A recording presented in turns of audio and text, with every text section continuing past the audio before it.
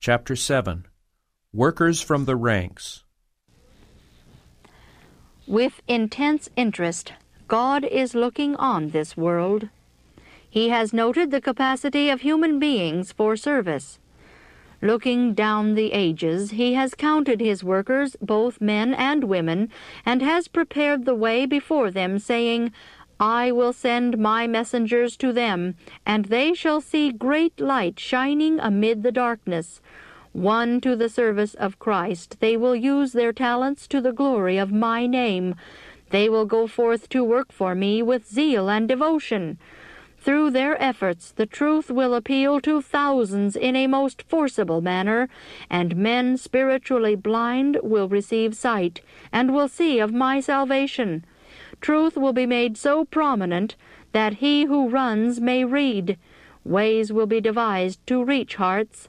Some of the methods used in this work will be different from the methods used in the past, but let no one, because of this, block the way by criticism. Those whom God chooses as workers are not always talented in the estimation of the world. Sometimes he selects unlearned men. To these he gives a special work. They reach a class to whom others could not obtain access. Opening the heart to the truth, they are made wise in and through Christ. Their lives inhale and exhale the fragrance of godliness. Their words are thoughtfully considered before they are spoken. They strive to promote the well-being of their fellow men. They take relief and happiness to the needy and distressed. They realize the necessity of ever remaining under God's training, that they may work in harmony with God's will. They study how best to follow the Savior's example of cross-bearing and self-denial. They are God's witnesses, revealing His compassion and love, and ascribing all the glory to Him whom they love and serve. Constantly they are learning of the great teacher, and constantly they reach higher degrees of excellence, yet all the time feeling a sense of their weakness and inefficiency. They are drawn upward by their strong, loving admiration for Christ. They practice his virtues, for their life is assimilated to his. Ever they move onward and upward, a blessing to the world and an honor to their Redeemer. Of them Christ says in Matthew 5, 5, Blessed are the meek, for they shall inherit the earth. Such workers are to be encouraged. Their work is done not to be seen of men, but to glorify God and it will bear his inspection. The Lord brings these workers into connection with those of more marked ability to fill the gaps they leave. He is well pleased when they are appreciated, for they are links in his chain of service. Men who are self-important, who are filled with the thought of their own superior abilities, overlook these humble, contrite workers, but not for one moment does God lose sight of them. He marks all that they do to help those in need of help. In the heavenly courts, when the redeemed are gathered home, they will stand nearest the Son of God. They will shine brightly in the courts of the Lord, honored by him because they have felt it an honor to minister to those for whom he gave his life. God will move upon men in humble positions to declare the message of present truth. Many such will be seen hastening hither and thither, constrained by the Spirit of God to give the light to those in darkness.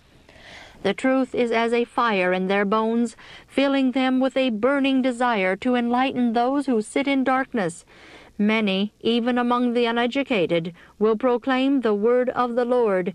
Children will be impelled by the Holy Spirit to go forth to declare the message of heaven. The Spirit will be poured out upon those who yield to his promptings, casting off man's binding rules and cautious movements. They will join the army of the Lord. In the future, Men in the common walks of life will be impressed by the Spirit of the Lord to leave their ordinary employment and go forth to proclaim the last message of mercy. As rapidly as possible they are to be prepared for labor, that success may crown their efforts. They cooperate with heavenly agencies, for they are willing to spend and be spent in the service of the Master. No one is authorized to hinder these workers. They are to be bidden Godspeed as they go forth to fulfill the Great Commission. No taunting word is to be spoken of them as in the rough places of the earth they sow the gospel seed. Life's best things simplicity, honesty, truthfulness, purity, unsullied integrity cannot be bought or sold. They are as free to the ignorant as to the educated, to the black man as to the white man, to the humble peasant as to the king upon his throne. Humble workers who do not trust in their own strength, but who labor in simplicity, trusting always in God, will share in the joy of the Savior. Their persevering prayers will bring souls to the cross. In cooperation with their self-sacrificing efforts, Jesus will move upon hearts, working miracles in the conversion of souls. Men and women will be gathered into church fellowship. Meeting houses will be built and schools established. The hearts of the workers will be filled with joy as they see the salvation of God. When the redeemed stand in the presence of God, they will see how short-sighted were their conclusions as to what heaven records as success.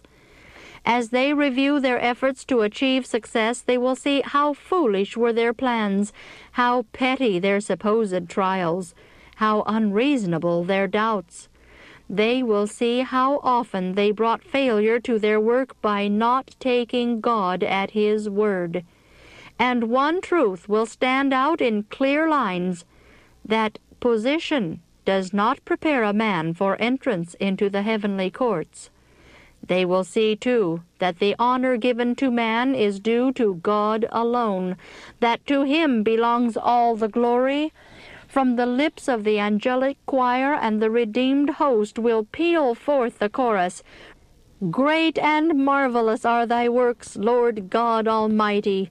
Just and true are thy ways, thou King of saints. Who shall not fear thee, O Lord, and glorify thy name?